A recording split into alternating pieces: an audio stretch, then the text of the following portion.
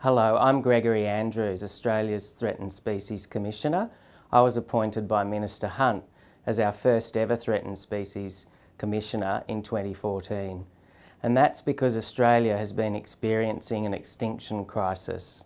The Australian Government, for the first time ever, now has a threatened species strategy to tackle that extinction crisis and we've already mobilised over $190 million to fight extinction. Feral cats have already been implicated directly in 20 Australian mammal extinctions and that's why the Australian Government, as part of the Threatened Species Strategy, has some very ambitious but achievable targets to tackle feral cats. 17% of Australia is protected areas like national parks but 99.8% of Australia is not safe from feral cats. So by reducing feral cats, we're making Australia safe for hundreds of Australian species. The science is crystal clear that feral cats are the single biggest threat to our mammals, so we need to act on that threat. But let me be 100% clear, the threatened species strategy is not targeting pet cats.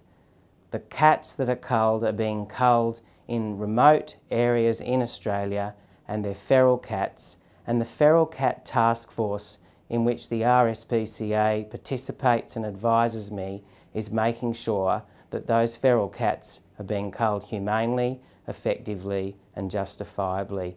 It's really important to say that the threatened species strategy and these feral cat targets, they're not about hating cats. Cats are beautiful animals and can be great companion animals for so many people. The threatened species strategy is about loving our wildlife enough to make the choices and do the things that we need to save our wildlife from extinction. 90% of Australia's animals and plants are found nowhere else on Earth, and that's why they define who we are as a nation. We put them on our coins, on our coat of arms, and we name our sporting teams after them. I follow the wallabies, but we've already lost eight wallabies to extinction and another 16 are at risk. And feral cats are putting pressure on all 16 of those wallaby species.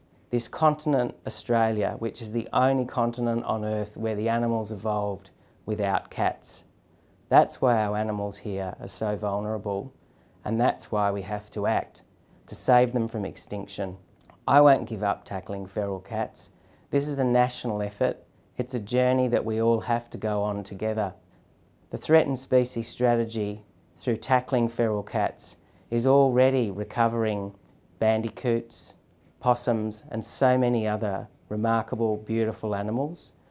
We're showing we can do it. We won't give up. We can choose to go in partnership together and fix this problem. So please share this video with your friends to show your support.